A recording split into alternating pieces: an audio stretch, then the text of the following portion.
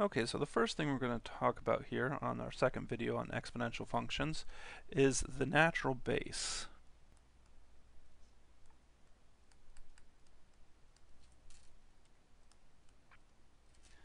e.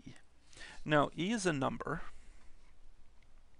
and e is equal to 2.71828 one eight two eight but then it goes on forever. It looks like there might be a pattern here um, but there really isn't. Um, it, it, looks like hey well wait you got eight one eight two eight and then one eight two eight. That definitely looks like a pattern. But just to make sure you uh, understand that it's not a pattern let me go ahead and get a few more decimal paces for you. So if we continue on after the 1828, it actually then goes um, 4, 5, 9, 0, 4, 5, 2, 3, 5, 3, 6, 0, and then it keeps going on forever. So even though when you look at the first like 10 decimal spots or so, it looks like there's a pattern repeating, as soon as you get a few more down, you can clearly see there's no pattern um, that's repeating. And so this means, just like the number pi, e is an irrational number.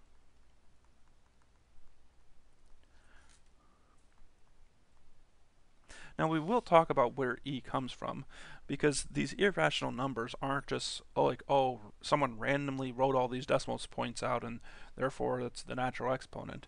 No, it does come from somewhere, just like pi. Pi is irrational. Pi comes from somewhere, and where does it come from? Pi is just the circumference of a circle divided by its diameter.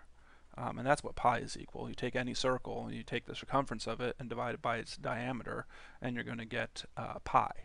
So pi was discovered first, primarily because, you know, dealing with circles, you know, was a very common thing to do with, and the way that E was discovered um, is dealing with exponential functions, so it was definitely much later on in mathematics. Alright, so why do I point that out? Well, the exponential function, the natural exponent, natural exponential function,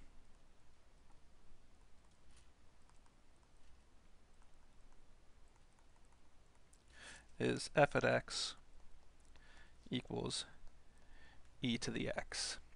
And now, there's not really too much surprising about e to the x. e, remember, is just a number, and it's greater than 0, so if you wanted to think about what the graphs of this, I'll just even do a real rough set of x and y axes here. The graph here is going to intersect this, and it's going to look like any other exponential function so e to the x.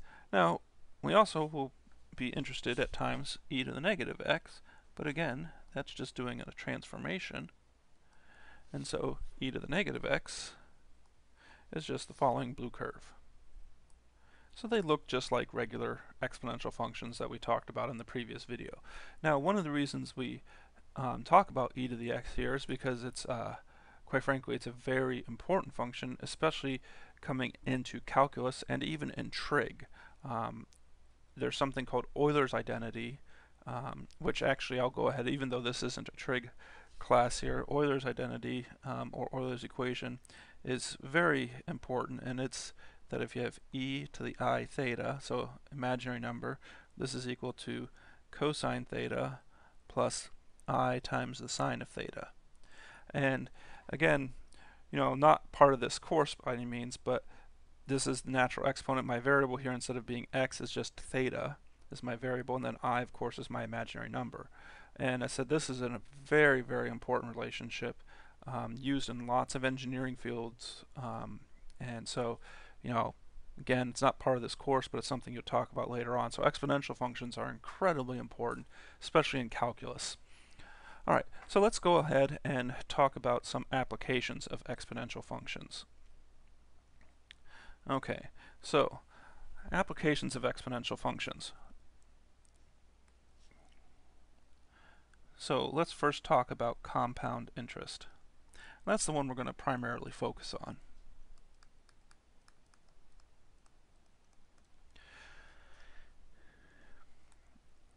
And we have a formula here for compound interest.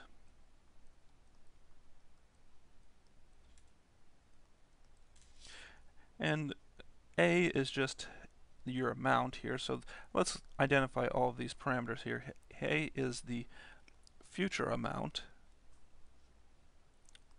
amount of money we'll have in the future, or you could also look at it if you're talking about a loan, the amount of money you might owe if you're not paying on that loan. And then what we have here is P is what's referred to as the principal, or you can think of this as the initial investment.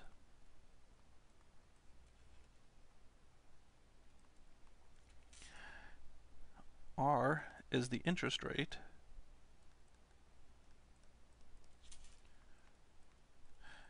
And it's the annual interest rate, so sometimes abbreviated APR, annual interest rate, or annual percent rate. Um, but this has to be um, converted to a decimal number.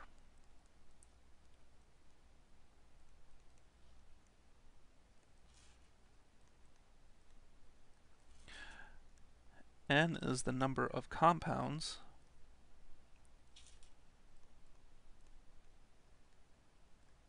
in a year. And what that means is the how often is interest calculated. So if you're talking like a savings account or something like that, that's monthly. Um, interest is typically cal calculated monthly, and so n would be 12.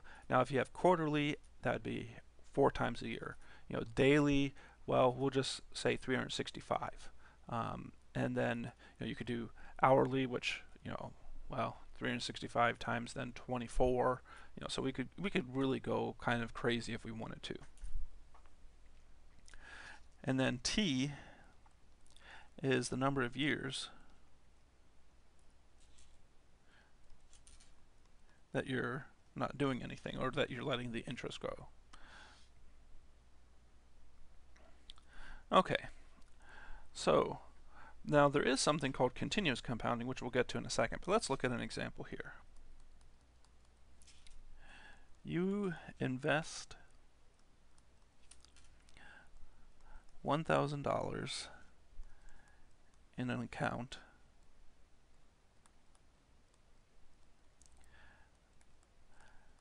that has an,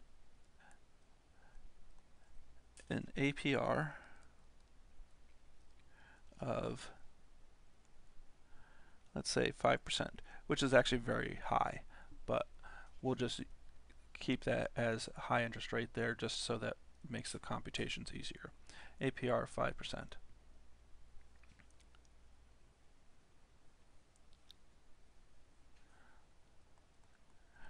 How much money do you have in five years if compounded quarterly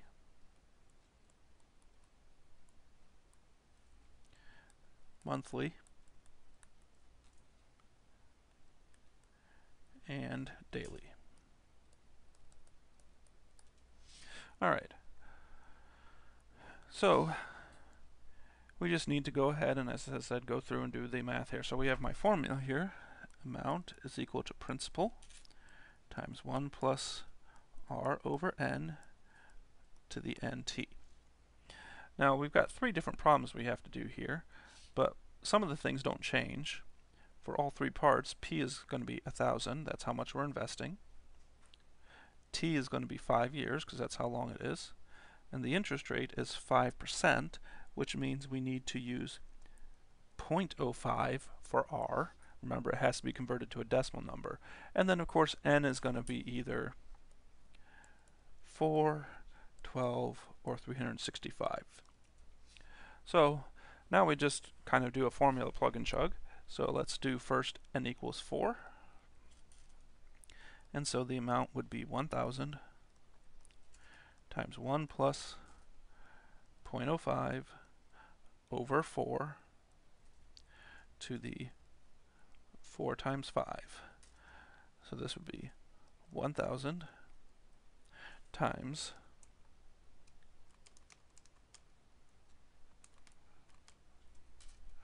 1.0125 to the 20th power.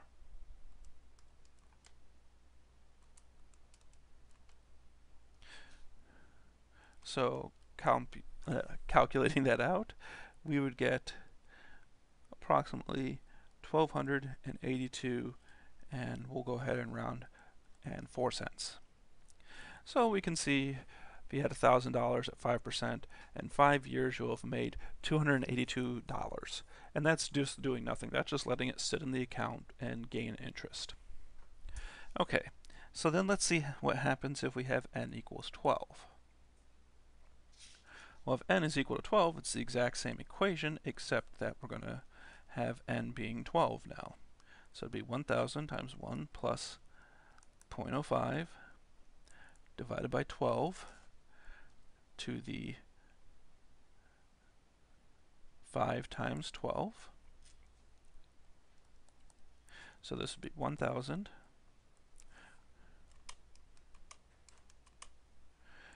And this would actually be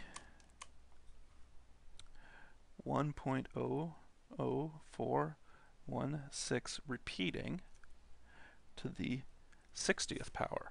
So one thing we want to see here is this number's inside the parenthesis has gotten smaller, but then the exponent I'm using has gotten bigger because in this example here we had 20 and now we're going to have 60. So let's just finish the computations out. And in this case, the money we would have if compounded monthly would be $1,283 and 34 cents. So we can see we get a little bit more money.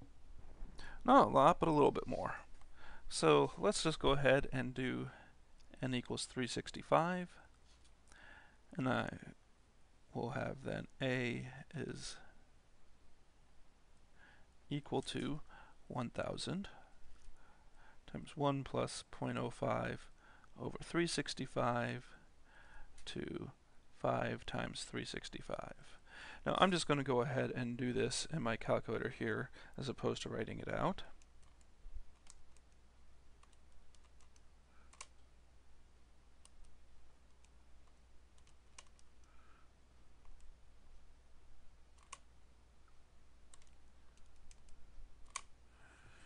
And in this case here, you get A is equal to $1,284. So technically we still got even a little bit more money. Okay? So now we're going to continue this example and introduce this idea of E again. And the question that was asked, because if you notice, uh, there was this question was asked a long time ago. If you notice that, well, I keep getting a little bit more money.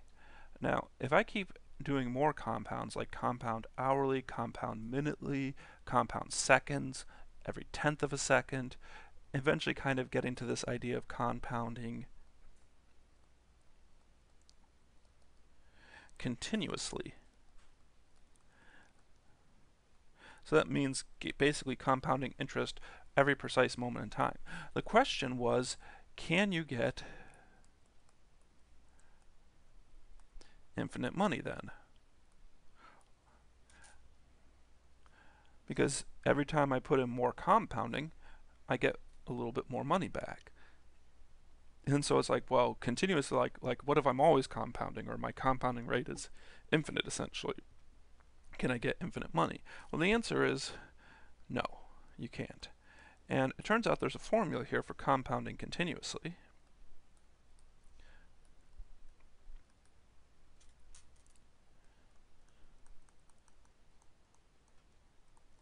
Compounding continuously is the amount is equal to P e to the RT. Notice the number of compounds has dropped out, but here's that natural exponent e.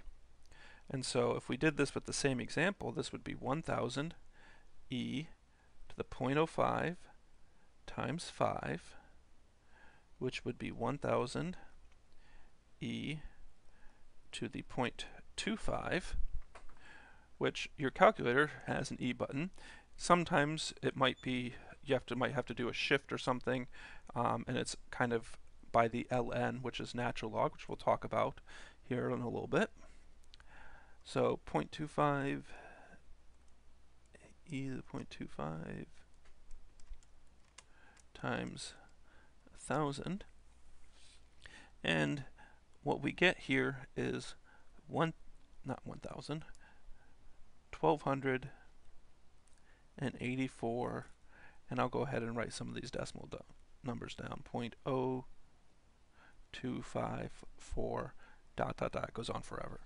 And if we round it, it would be 1284.03. But what this is actually, this is the maximum money that you could get investing $1,000 compounding at 5% interest rate. So I have a maximum amount of money that you can get. So even if you compound continuously, you can't just get infinite amount of money. It's limited by this E. And actually, compounding interest is actually how E was discovered. E was discovered by Jacob Bernoulli, who's a very famous mathematician. Um, and it was he it was discovered in 1683. So this number is not exactly new. We've we've known about this number for quite a while. And the way it was is there was a question posed essentially if you invest one dollar in an account that pays 100% interest is there a maximum or infinite value? Now, if you think about it, if you have 100% interest, which of course is ridiculous, but if you do that and you compound it just once a year, well, if you do it for one year, you'd have one dollar would go to two dollars. Okay, but then if you did it twice a year, you could use the compound interest and you'd get a little bit more than two dollars. And so what they were looking at is they were looking at the amount equals one times one because I invested one dollar plus interest rate is 100%, so it's 1 over n. And then they did it for one year, so n times 1. And so they were looking at the function 1 plus 1 over n to the n power. Now again, this is investing $1 at 100% interest for one year. And so if you make a table here for n, and then what 1 plus 1 over n to the n power is,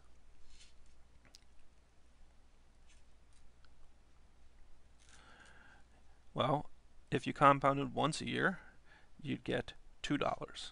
If you compounded 10 times, you'd get 2.593744246. And then if you compounded 100 times, you'd get 2.704813829. And then let's just jump up a little bit here. Let's do 10,000. If you did 10,000, you'd have 2.718145927. And then if you have, jump up one more here, 10 million, you would get the value of 2.718281693. And you can see this number E is starting to form here. 2.718281, and then we know the next digits would be 828. But what they saw is, is that there is this maximum number that this can reach, this value 1 plus 1 over n. And that maximum number is the number e. So that's actually where it came from. It came from doing compound interest. And the joke is always is like, well, it's because they were greedy. Mathematicians wanted a lot of money, so they wanted to see if there was a way to get a, you know a lot of money out of it. Uh, that's just kind of an old wives' tale. I don't think it's part of the story, but um, it is true that uh, Jacob Bernoulli did discover it, um, and that uh, this is essentially the way it was discovered. Now, if you were to take a course um, calculus eventually, you would talk about this again in more detail because what you would look at is something called a limit. And this limit as you go to infinity is equal to the number e. And in fact, that's one of the definitions of e. One way to define it is to define this as a e as the number that you approach when this thing goes to infinity. Um, but again, that's kind of reserved for another course. All right, so we've talked about some of these uh, exponential functions. Just to kind of give you another um, thing here, is you, you also have you know radioactive decay and things like this. Um, so I'll, I'll, do one quick more quick example here. So you have carbon 14, which you might know is for carbon 14 dating. You might have heard of that before. Um, the half-life of this is 5,715 years.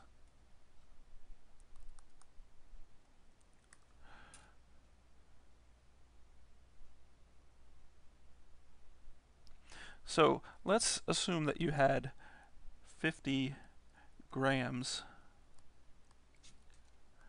of carbon 14. Then a formula to determine the um, amount of carbon left, carbon 14 left after a certain number of years would be, well, it's kind of like the compound interest one, but not exactly. You start with an initial amount of 10 times, and then, well, I have a half-life. So, 1 half t over 5,000 715. And why would that be half? Well, half-life means after one year you would have half of it left. And I'm not 10. This is, I don't start with 10, I start with 50. So after one year I'd have 25 grams of carbon-14 because it decays into another um, substance. Um, and so I don't have 50 grams after a year, I'd have 25. Um, but then after another year I'd have half of 25 which is this exponential decay. And that's where this one half comes in. Half-life, so half of it's going to be gone, but how long does it take? 5,715 years. So if you want to talk about how would we compute this, like how much is left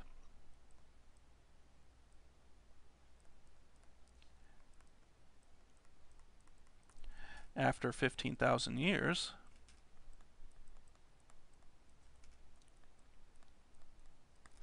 Well, we would just do q is equal to 50 times 1 half, and yeah, I know I could rewrite that without the negative, but I'm just plugging a number in here, so it doesn't matter. 15,000 divided by 517. So this would be 50 times 0 0.5 to the 15,000 divided by 5,715. And then we go just um, plug and chug this through here, so I'll just do this real quickly on my calculator.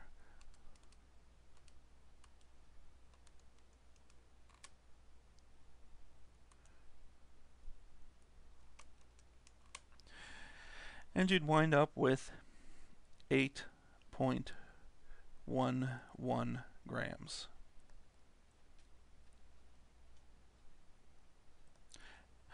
Still of carbon 14. Now you can say that makes somewhat sense because what is 15 divided by 5,715? Well, if we want to just be ballparking it, it's not even that accurate. Well, 15,000 divided by 5 is, is 3. So it's not quite 3 half-lives, but it's going to be somewhere a little less than 3 half-life. Well, if we did um, half-life here and did half of um, 15,000, um, not fat, half of 50, you get 25, and then half of 50 again, you get 12.5. So you are getting something that is somewhat reasonable here. All right, but this is going to um, wrap up our discussion on exponential functions, and then we will go ahead and move into logarithmic functions in the next set of videos here.